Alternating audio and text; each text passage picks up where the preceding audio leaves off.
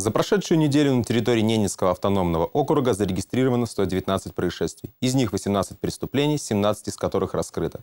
По одному проводятся оперативно-розыскные мероприятия, направленные на установление лиц, совершивших преступления. Привлечено к ответственности 22 гражданина за распитие алкоголя и появление в общественных местах в состоянии алкогольного опьянения. За неделю произошло 17 дорожно-транспортных происшествий. 28 ноября текущего года до окончания убойной кампании на территории Ненецкого автономного округа проводится оперативно-профилактическое мероприятие «Тропа-2016». Выявлен факт незаконной охоты. Так, 2 декабря текущего года в ходе оперативно-профилактического мероприятия «Тропа-2016», направленного на профилактику и недопущение фактов незаконной добычи и отстрела животных, на пятом километре автодороги на Ридмар-Красная сотрудниками отдела экономической безопасности и противодействию коррупции МВД России по НАУ остановлены два снегохода – к одному из которых были прицеплены сани волокуши. В ходе осмотра саней волокуш, принадлежащих жителю Наринмара 1977 года рождения, полицейские обнаружили разделанную тушу лося. В ходе оперативно-розыскных мероприятий сотрудникам полиции стало известно, что 30 ноября текущего года около 10 часов, находясь в 13 километрах в восточном направлении от озера Селиндей Ненецкого автономного округа, задержанный из охотничьего ружья осуществил отстрел одной особи лося, не имея на это соответствующей лицензии. Для проведения проверочных мероприятий полицейскими изъяты орудия незаконной охоты, ружье, два снегохода и сани-волокуши. По данному факту сотрудники полиции проводят проверку, по результатам которой будет принято процессуальное решение. Уважаемые жители округа, стражи порядка предупреждают вас об уголовной ответственности за незаконный отстрел животных. Согласно статье 258 Уголовного кодекса Российской Федерации «Незаконная охота» предусмотрено максимальное наказание в виде лишения свободы на срок до двух лет.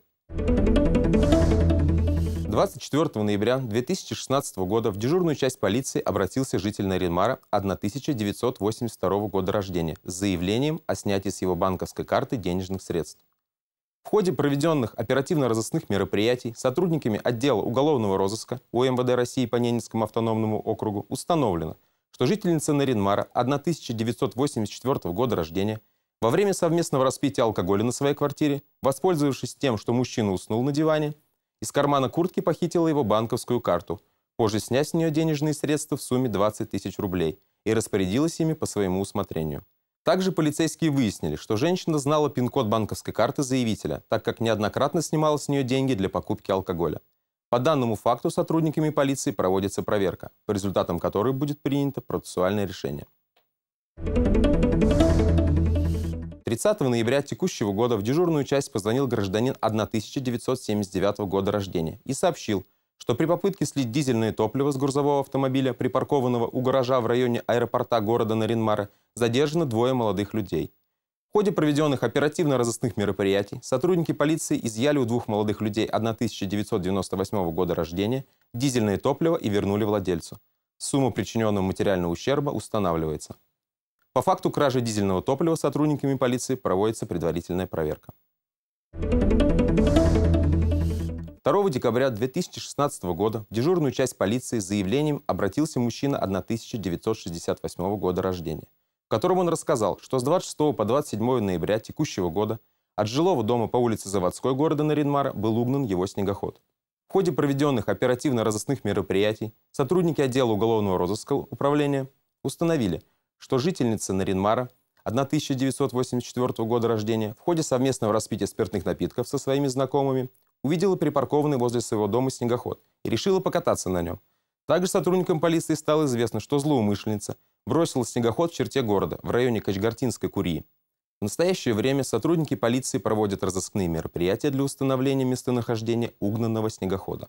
По факту угона полицейские проводят проверку, по результатам которой в соответствии с действующим законодательством Российской Федерации будет принято процессуальное решение.